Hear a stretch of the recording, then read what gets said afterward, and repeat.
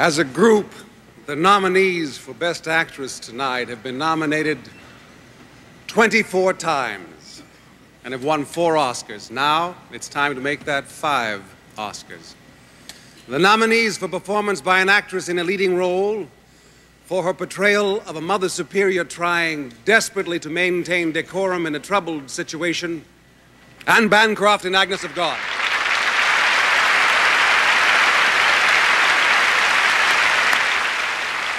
As Celie, who survived her childhood and a bad marriage and finally finds freedom and herself, Whoopi Goldberg in The Color Purple.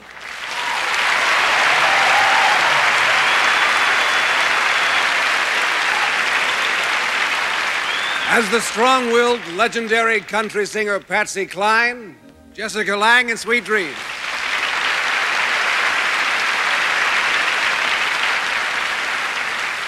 As an elderly woman determined to get back to her childhood home, Geraldine Page in A Trip to Bountiful.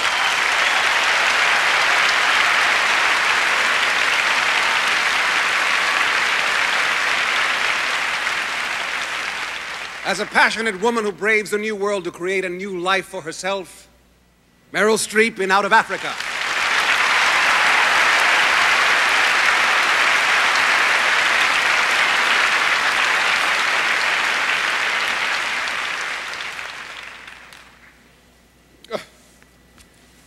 I consider this woman the greatest actress in the English language.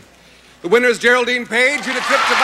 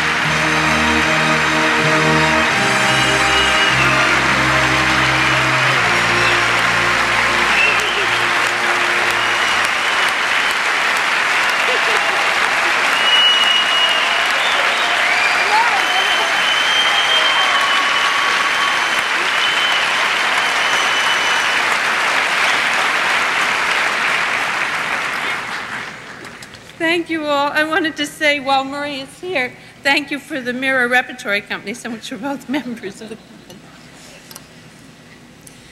Well, thank uh, Horton Foote for all this. I'm so glad.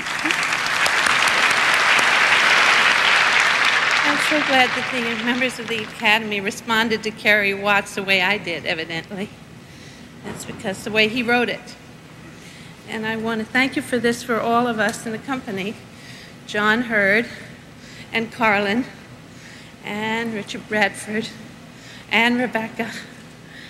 And it was all through the beautiful eye of Fred Murphy and the masterful direction and his film debut as a director, Peter Masterson. But mainly it's Horton's fault with all this. So I thank you all.